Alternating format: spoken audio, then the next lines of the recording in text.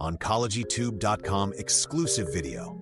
This two-minute video covers data presented at ASCO 2025 on treatment-induced lymphopenia, the shift from tumor mutational burden to lymphocyte stability in immunotherapy, and early research on the Cancer BioShield platform.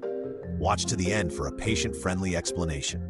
Ohio State University studied 118 stage 3 lung cancer patients it reported a 48% increased mortality risk per 10% drop in absolute lymphocyte count, with a hazard ratio of 1.48, suggesting immune damage from chemoradiation and durvalumab. This data is from the ASCO 2025 poster Survival Impact of Lymphocytopenia During Chemoradiation in Locally Advanced NSCLC Patients Treated with Adjuvant Durvalumab.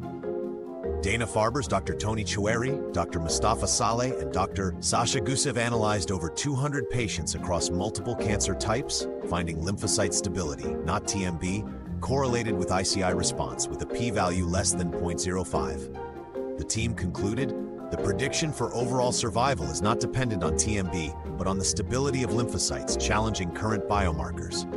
This from ASCO 2025 Abstract 2663, The Impact of Lymphocyte Count Dynamics on the Predictive Value of Tumor Mutational Burden, TMB, for Immune Checkpoint Inhibitors, ICI Outcomes in Patients PTS with Cancer.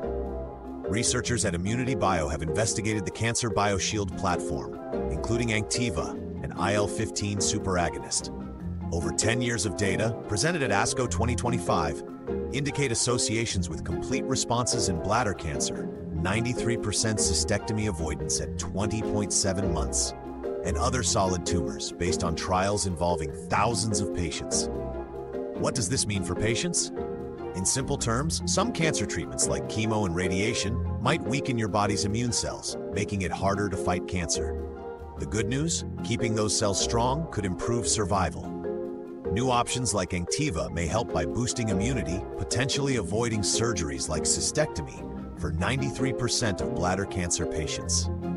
For more information, there is a written, more in-depth web companion to this video with reference links on oncologytube.com, link in the description. If you like this video, please consider sharing with others who you think would be interested and subscribing on this platform. Go to oncologytube.com for many other cancer topics. Thank you for watching.